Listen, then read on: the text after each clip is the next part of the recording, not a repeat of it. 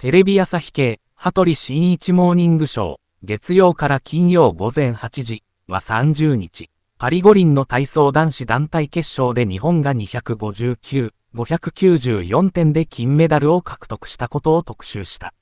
写真、イケメン揃い。金メダルの体操男子メンバー最大のライバルの中国と同じローテーションで演技を行った日本は1種目目の床運動で中国を0、734点リードしたが、2種目目のン馬でエースの橋本が落下。前半の3種目を終え、中国が131、364で首位。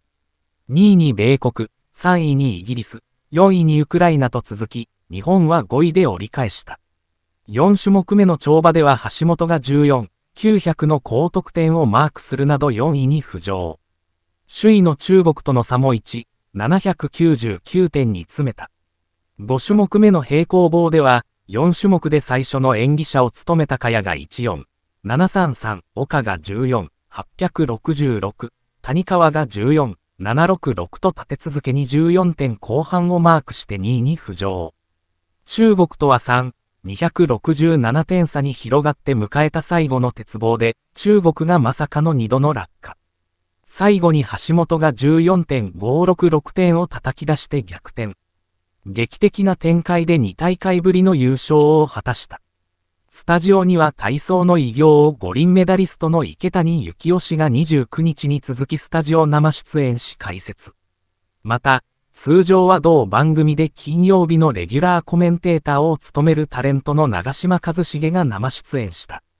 池谷氏は、最後の鉄棒で中国の選手のミスに、普通にやっていれば金なんですけどその普通ができなかった、とし、自らの現役時代にミスをした経験を振り返り、絶対、と思うとダメなんです。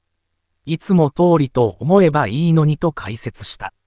これにコメンテーターで元テレビ朝日社員の玉川哲氏は、わかる、わかる、とうなずき、昔ゴルフやってた時も前に池あったり、絶対に池に打ち込んでいたからね。